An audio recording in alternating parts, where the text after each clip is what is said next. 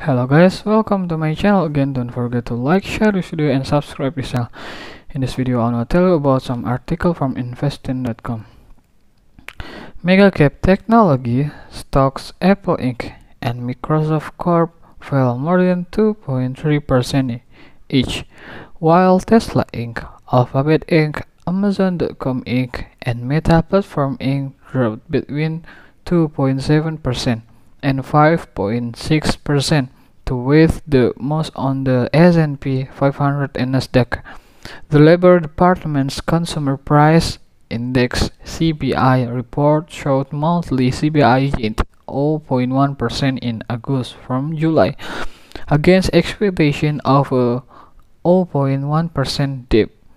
On a year-on-year basis, it increased by 8.3% while economists were anticipating a rise of 8.1% according to a Reuters poll excluding the foliated food and energy components core CPI increased to 6.3% from 5.9% in July putting further pressures on the Fed to continue on its rate hike spree the longer term view is pretty clear here that monetary policy is a very blunt instrument and anybody that thought inflation would start to roll over just because the Fed hiked a couple times is pretty ignorant to way economics works, said Doug Fisher,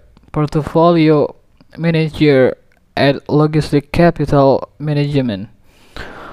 Policymakers last week emphasized their determination to keep rising rates until there is a sustained drop in inflation, which has been running at 40-year high and above the Fed's target on 2%.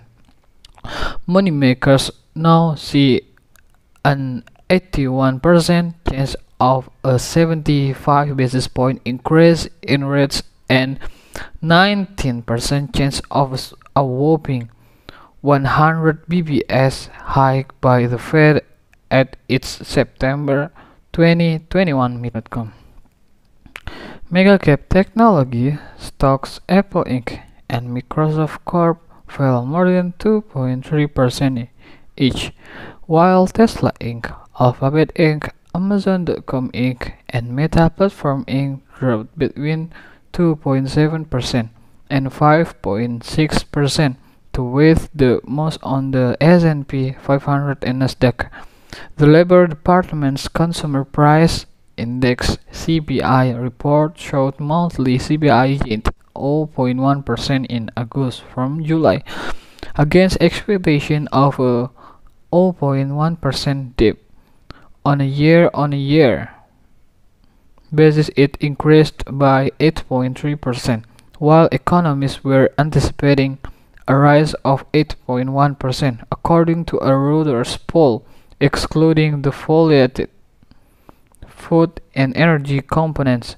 Core CPI increased to 6.3% from 5.9% in July, putting further pressures on the Fed to continue on its rate hike spree.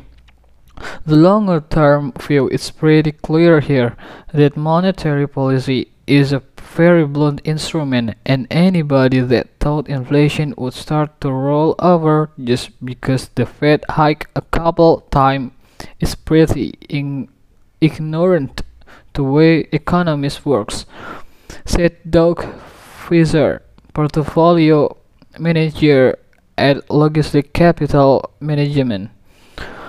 Policymakers last week emphasized their determination to keep rising rates until there is a sustained drop in inflation, which has been running at 40-year high and above the Fed's target on 2%. Moneymakers now see an 81% chance of a 75 basis point increase in rates and 19% chance of a whopping 100 bps hike by the Fed at its September 2021 meeting. That's all from me in this video and see you next time.